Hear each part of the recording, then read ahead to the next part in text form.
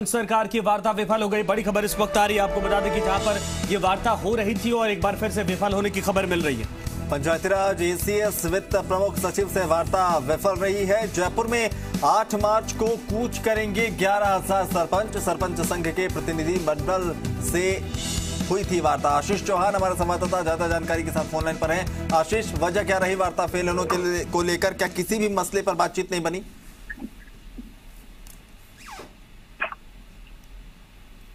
आशीष, आप सुन पा रहे हैं? तो लगता है कि संपर्क नहीं हो पा रहा, लेकिन साफ़ तौर पर यह कि बड़ी खबर आ रही कि एक बार फिर से वार्ता विफल हो गई है। और सरपंच सरकार की वार्ता चल रही थी, लेकिन विफल हो गई, कई मांगे थी। सुबह खबर आई थी कि 50 परसेंट के आसपास मांगों को मान लिया गया, लेकिन अब बड़ी खबर इस वक्त आ रही कि कोई भी जो ये वार्ता हो रही थी, वो अंजाम तक नहीं पहुँच पाई।